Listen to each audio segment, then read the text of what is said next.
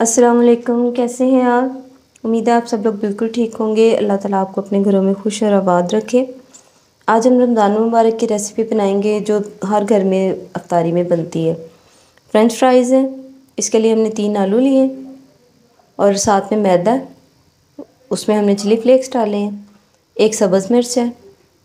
थोड़ा सा नमक और धनिया। सब्ज़ मिर्च बिल्कुल बारीक। बिल्कुल बारीक सी काटेंगे। धनिया को हमने धो के साफ़ करके रखा था।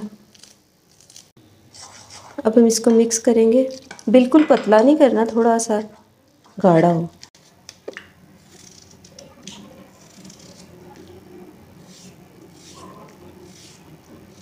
चिप्स काट लेंगे इतने इतने स्लाइसेस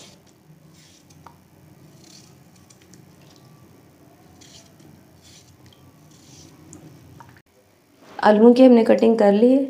ऑयल हमारा गर्म हो रहा है मीडियम फ्लेम पे। बेसन के भी बहुत अच्छे बनते हैं, लेकिन ये बहुत मज़े के क्रिस्पी बनेंगे। आप लोग ट्राई ज़रूर कीजिएगा। ऐसे एक एक डाल लेंगे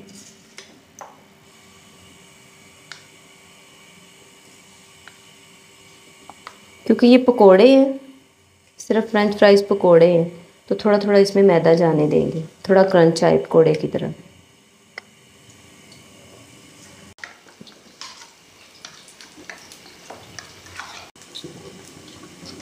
ये ऊपर आना शुरू हो गए अब इनको सेपरेट कर लेंगे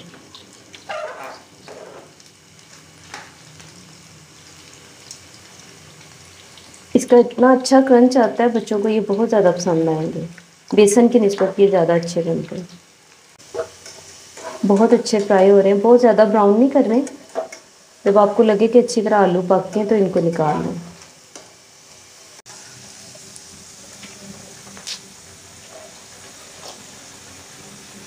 ये देखिए कितने अच्छे रेडी हुए।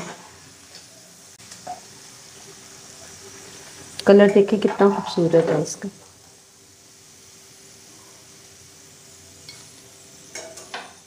ये बाकी की चिप्स जो है वो भी हमने डाल दिए इसमें।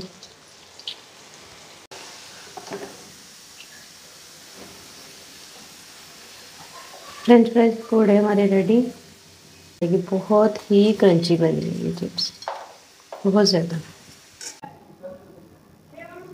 ये है जी हमारे फ्रेंच फ्राइज़ पकोड़े। बहुत ज़्यादा क्रिस्पी हैं।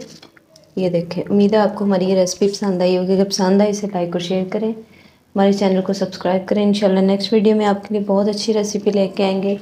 तब तक अपना, अपने घर वालों का ख्याल रखें। मिलते हैं एक अच्छी रेसिपी के साथ। अल्लाह हाफिज़।